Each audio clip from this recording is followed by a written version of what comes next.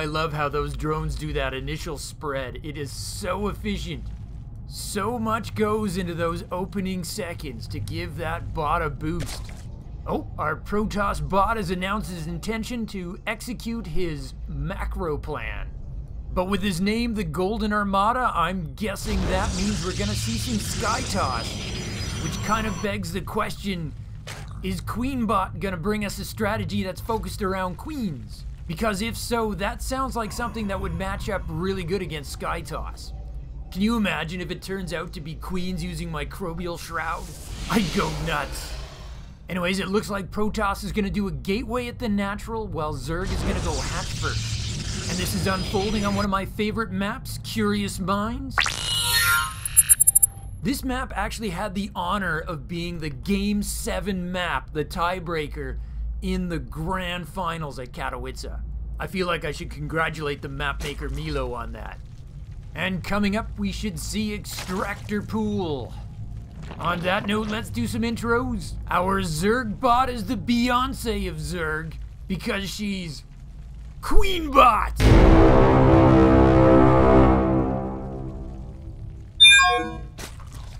Current SC2 rank 12. Protoss is going Nexus before Core. There is no pylon in the Protoss main, so I assume that core is going down as part of the Protoss wall. Our Protoss bot was created by the Order of Hierarch Artanis with the intention of using it to retake Aiur. It is the Golden Armada!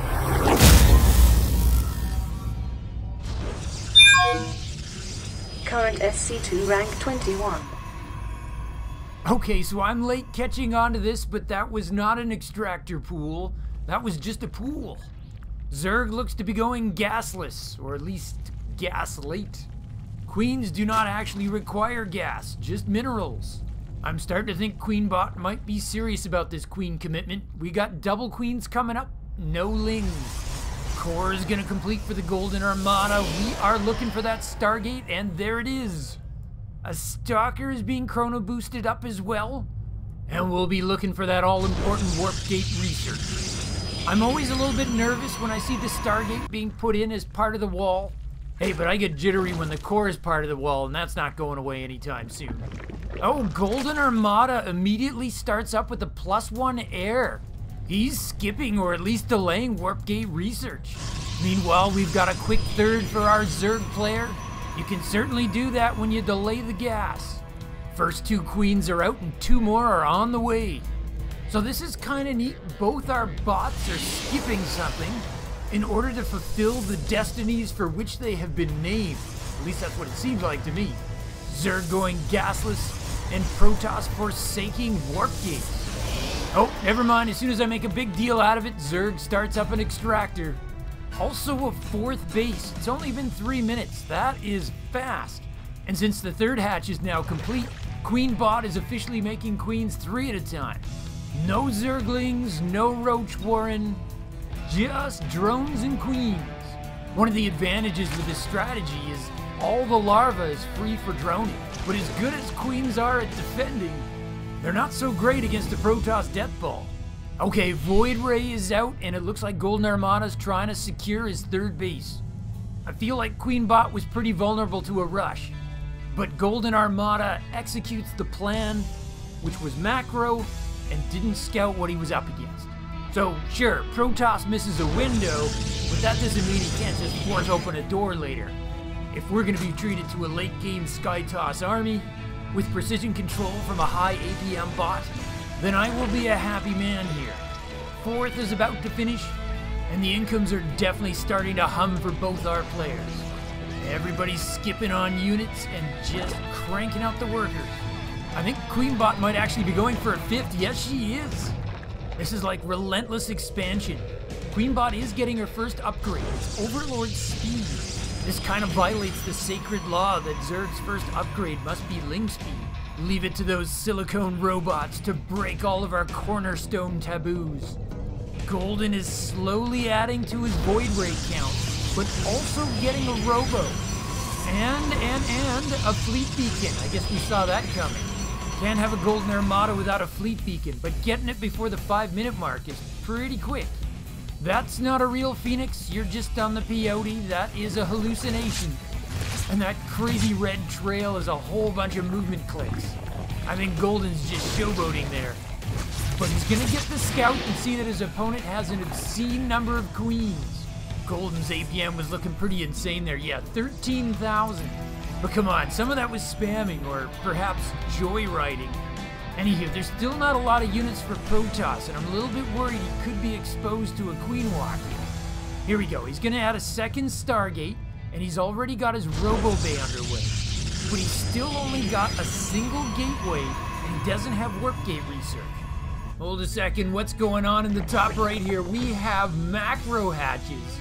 I guess if you're only making queens, you need extra hatches. This is a little bit crazy sauce, I'm liking this. Queenbot's already making queens four at a time. She's up to 17 and rising. That's a lot of transfuses and it's a lot of creep tumors. Hold the phone though, Golden's pushing out. He does have an observer somewhere, so maybe he can pare back his creep a little bit. But he certainly doesn't have a force that's big enough to take on that horde of queens. But you never know, I've kind of given up predicting AI matches because the micro is such a huge component. But it looks like Golden agrees with me. He sees the barbarian horde of queens and pulls back. I'd be like, I need seven gateways stat. Oh my god, Queenbot's putting down hatcheries at the Protoss's triangular third. Two, in fact. This is like robotic smack. And she's getting plus one ranged attack, which is apparently just for the queens. Golden's making double tempest, and he's also getting Colossus range. I don't know, it feels a little bit like the Protoss macro is moving at half speed compared to the Zerg. Queen production is six at a time. Also, there's a Nydus network going down. 40,000 APM for the Golden Armada. Those stalkers are doing some serious work here. They are dancing an Irish jig here. But two just got pinned in the corner. They don't have Blink. He doesn't have a Twilight Council. Dude's got a fleet beacon, but he doesn't have a Twilight Council. He is a highly specialized bot. Oh, Golden put a stop to the hatcheries at his triangular third, but Queenbot is just gonna keep on coming. But put a pin in that thought because we have a Nydus worm coming up, right next to that precious fleet beacon, no less. It looks like creep is across more than half the map at this point. Nobody's surprised by that. And now just a ton of queens are piling into the Protoss main. You want to bet they're going to drop a few creep tumors at least? Golden's got a Colossus there to take some shots at the queens, but there's just too many. Whatever queen gets hit, there's like three queens behind it ready to transfuse. Oh, Golden's getting confused by the fact that he can't build on creep. He's got a pylon there and it's confusing him. All of Golden's essential tech is under fire at this point. He is making a mothership. Perhaps that can reverse his fortune. There's just a single overseer for Queenbot. If he can snipe that, maybe then he can hold out. The Tempest outranged the Queens, but he needs 10 more of them before they can really get anything done. At this point, Queen Bot is making more hatcheries than Golden is making units. And Golden is bleeding probes at this point. I think he's trying to transfer them away from his natural, and they are just running straight into the Queens. Protoss is getting creamed on resources lost. He loses a critical pylon. That's it for his production facilities. He also loses his plus two air attack research, but he does win a special award for overlapping the most schematics possible. I think I see a fleet beacon, a forge, and a gateway all in there. Queenbot is officially making queens 10 at a time. That's an impressive number. The queens in the main are going to meet up with the queens in the natural. They are crushing the Protoss in between like a vice. Can that mothership get out? Even if it does, I'd be afraid the queens would just take it down. Golden's got to rally all of his units underneath it, and I'm not sure he can get them there. You know what? I think I just clued in that Queenbot never made a lair. She's doing this all off of hatchery tech. Oh, the queens are all leaving. Were they fooled by the cloak?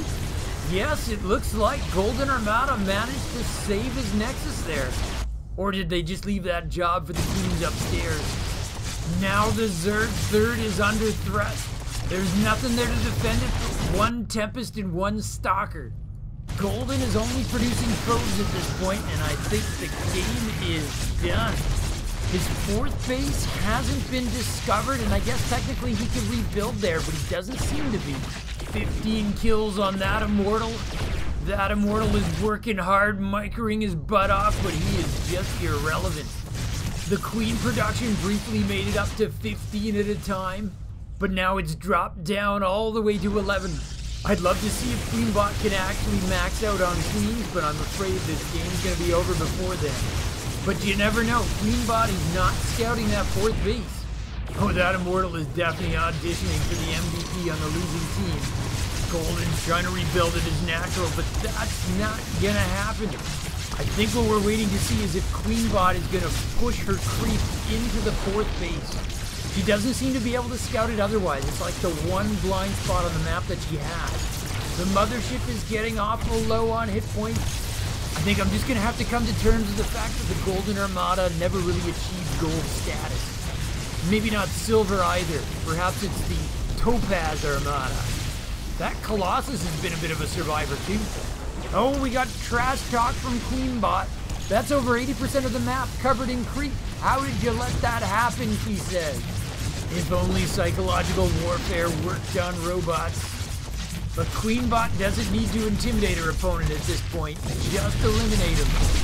He's supply blocked, and he's down to seven workers. Just look at that army. Queenbot is indeed gonna max out. She's turning south. Has she found the fourth base? This is probably a good time for me to reiterate that Blizzard's original concept was that the Queen was going to be a hero unit like the Mothership. There was only going to be one, but at this point, Queenbot's got over 60 and climbing. Oh, she finally got that hero Colossus and one of the two Tempests. We are looking at Golden's last two units here. He's got five workers, two of which are coming to die. Golden's got quite a bank. Mostly because every time he tries to spend it, it fails. He just can't build on the creep. If only he could build in his fourth base. Oh, Queenbot starts up plus three, plus three. Why? Because she maxed out and can't build any more queens. This looks like one of these unit tester mods. 60 queens versus 500 marines. Only we're kind of missing the 500 marines. Queenbot's on the move again. Has she found the bottom left base? She's making a beeline for it. A queen bee line, And she's found it. Stick a fork in me. I am done. But come on, this map is a work of art, isn't it? A thousand hatcheries, a million creep tumors, no tech structures beyond a spawning pool and Evo chambers. Who needs a roach warren? Lairs are for wimps. Spires and infestation pits are for losers. This is how Queenbot gets it done. And here comes our elimination. Congratulations to Queenbot for a very stylish victory.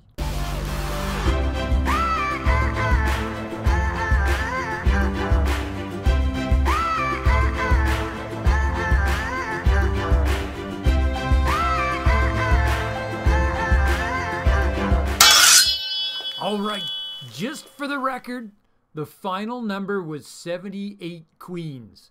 That's a pretty high volume of queenage. So we get a very interesting but very one sided affair. A bit of an unfortunate build order matchup, really. With that initial push, we see unupgraded stalkers backed by no warp gates. And that is all that's available to escort the delicate void rays against pure queen. In a game with human players, I think if the toss player just researches zealot charge and warps in a ton of zealots, the queen player simply can't make replacement queens in the hatcheries fast enough and Zerg dies pretty quickly. We'd be watching a very different game. Dollar for dollar, the zealots can tank enough queen shots and they'll get the surface area they need to find value. But that's not what Golden Armada was built to do.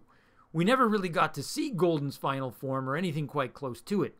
For good or for ill, Queenbot stole the show here.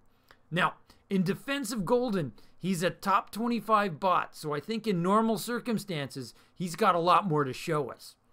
Now, I should add, although I'm confident Charge Lots could cook Queenbot's build in a game with human players, I can't honestly be sure what would happen in an AI game, because I may not understand the true potential of mass queens under the control of AI, We're talking about AI with APM in the thousands, transfusing at the exact right place and at the exact right time. I bet it makes those queens a lot better than I think. By the way, I didn't realize it at the time I was actually casting the game, but I now appreciate both of today's bots, Queenbot and the Golden Armada, actually have the same creator, a programmer named Rasper. So if you think of it, Rasper's children were pretty much fighting one another, so my hat's off to him for playing both sides of a very interesting game. A game so interesting that for some inexplicable reason it inspired me to come up with a new graphic. Check this out. May you dance like no one is watching, but may you also watch like no one is dancing. And no, I don't really know what it means either, but I feel like it must be very deep, so you might have to tolerate me running this clip every now and then. Special thanks to all the new subscribers. As always, you guys keep me going. So let me just say, from my base to yours, Zugzwang out. To continue your StarCraft journey, Nova advises you to click the video in the upper rectangle. But Kerrigan warns you to watch your six and click the video in the bottom rectangle. Or you can stimpack your StarCraft experience. Subscribe to Zugzwang StarCraft. Just hit the circle. From my base to yours, Zugzwang out.